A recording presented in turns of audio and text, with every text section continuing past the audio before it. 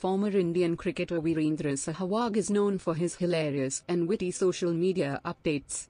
Time and again, he comes up with funny digs on trending topics. The most recent victim of Sehwag is a Nigerian footballer, Emmanuel Emenike. The footballer recently got married to model Iheoma Nnadi. Sehwag came across a post where a professional Nigerian footballer, Emmanuel Emenike got married to model Iheoma Nnadi. She was crowned Miss Nigeria in 2014. However, here's the twist. The footballer's previous wife, Ezinne and Anyao, was crowned Miss Nigeria in 2013. Sehwag in no time uploaded the post on his Twitter account and wrote a hilarious message for the footballer. He wrote, Uninstall version 13, install version 14.